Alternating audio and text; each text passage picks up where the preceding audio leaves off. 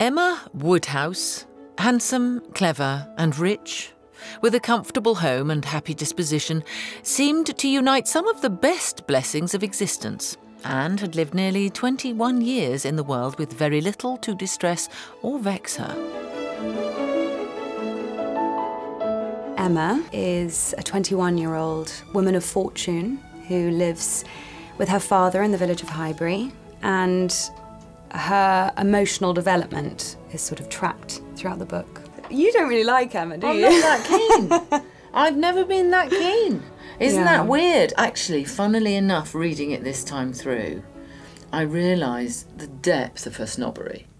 Well, he is very plain. Undoubtedly, remarkably plain, but that is nothing compared with his entire want of gentility. I had no idea that he could be so very clownish, so totally without air.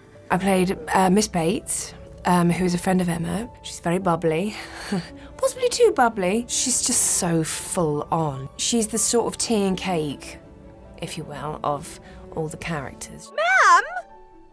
Do you hear that Miss Woodhouse is so obliging to say about Jane's handwriting? she says it is excellent. Performing Mrs. Weston in Emma was so fun. We had such a lovely time. There was lots of hilarity in the studio when we had to do um, ad libbing in period dialogue. So that was really fun and um, challenging, but it was uh, just a really fun record. It was a lovely group of people.